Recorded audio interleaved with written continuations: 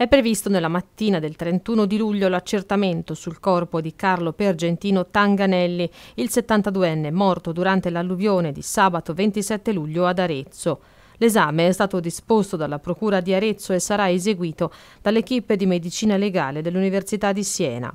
Solo dopo la salma potrà essere restituita ai familiari che potranno dare l'ultimo saluto e organizzare i funerali.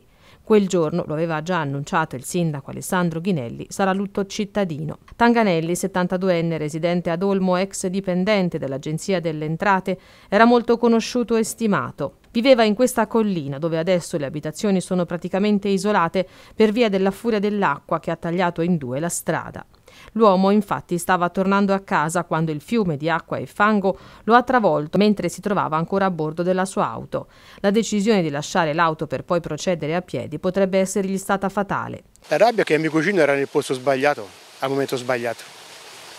Ora si dice a freddo, si dice io se ero lì, non mi fermavo lì, forse non andavo su, però quando stiamo lì